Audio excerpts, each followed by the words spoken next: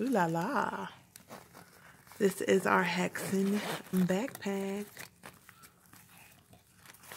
And not just any backpack. Watch this.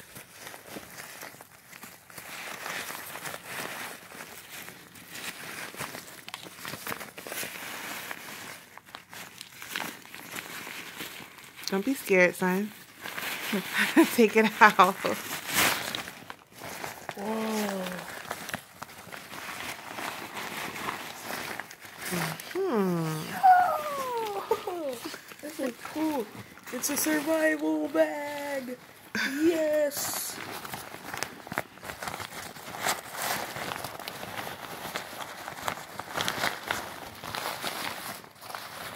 Whoa.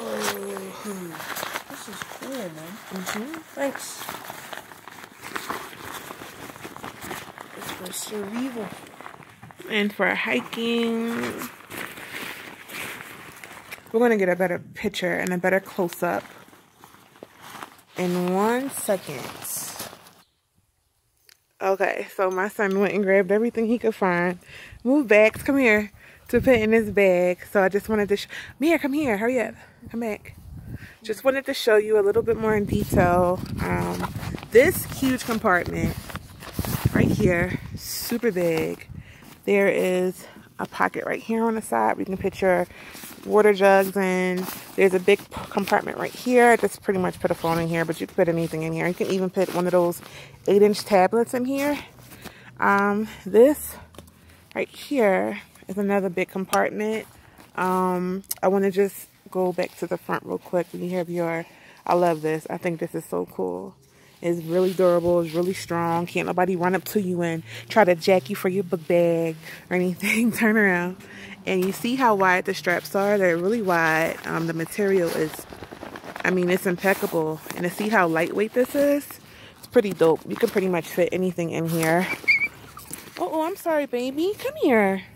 Mommy sorry. Mommy sorry. Okay. Um, my son, he went and grabbed the beef jerky. But he put like six outfits in here. Um, I'm just going to take this out for a second and show you that there is, let me pause it. Um, there's a super large compartment in here that goes all the way from the top to the bottom. So if you wanted to put your laptop or something that you just didn't want to get um, wet or something, you know, private, you wanted to go down in there, it could. But one other thing my son pointed out to me that I did not know. Show him here. There's a whistle. Let me say. Like a signaling whistle. Let me say.